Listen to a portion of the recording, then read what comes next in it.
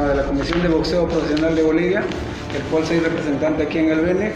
Me, me encargado encarecidamente de que le haga conocer de que la pelea de Pedro Bonichava contra Saúl Farah eh, no se puede llevar a cabo porque los registros de boxeadores profesionales a nivel internacional, quienes velan este tipo de combate, no lo avalan.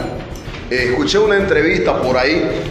Este supuesto representante de Bolivia que yo me estaba escondiendo, que yo me estaba escondiendo para que yo no quería pelear, que yo me había enfermado, eh, que yo me había enfermado, que era un cobarde, que no quería tomar la pelea. Yo no oigo de nadie peleado con los mejores del mundo y a un vagabundo para que venga a insultarme aquí y en la televisión decir lo que tenga que decir, porque yo no estaba frente a frente, que sos un marica, que sos un cobarde, que no querés pelear. Si quieres pelea, ¿por qué no armamos la pelea aquí? Ya está, si quieres pelea.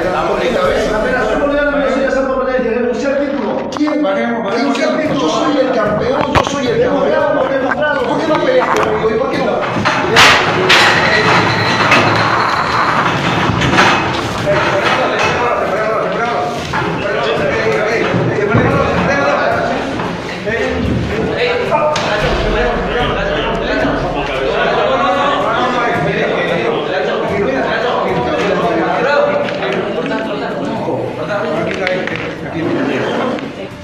Pesa mi mano.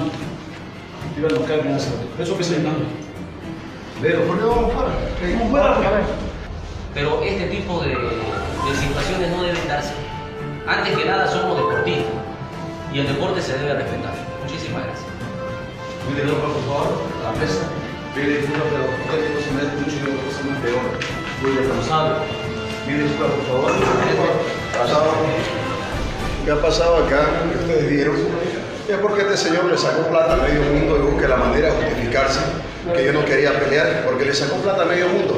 Le voy a dar la oportunidad a este le voy a dar la oportunidad, más que nunca ahora personal, le voy a dar la oportunidad de pelear conmigo y les aseguro que le voy a arrancar la cabeza.